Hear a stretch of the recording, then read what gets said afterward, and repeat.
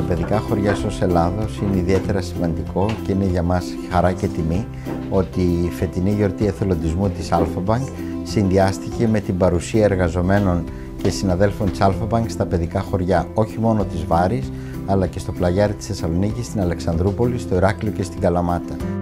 Είναι πολύ συγκινητικό για μας όταν ξεκινήσαμε μόνο 20 άτομα τις ενέργειες να βλέπουμε να πληθαίνουν συνέχεια τις συμμετοχές από συναδέλφους. Σας αξίζουν πολλά μπράβο και σας ευχαριστούμε από τις Κυριακές σας, τα Σάββατά σας και τον ελεύθερο χρόνο σας το περνάτε κοντά μας.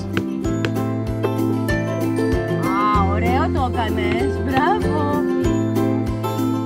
Μπράβο. Η Alpha Bank στηρίζει και στήριζε τα παιδικά χωριά πάρα πάρα πολλά χρόνια Μάλιστα μπορώ να πω ότι πριν 25 χρόνια που ξεκινούσε και το πρώτο κατάστημα της Alpha Bank στη Βάρη είχε στηρίξει και αγκαλιάσει το έργο μας και με ενέργειες μέσα από τις πιστωτικές της κάρτες και ήταν ένα πλαίσιο στο οποίο βρισκόταν πάντα δίπλα μας.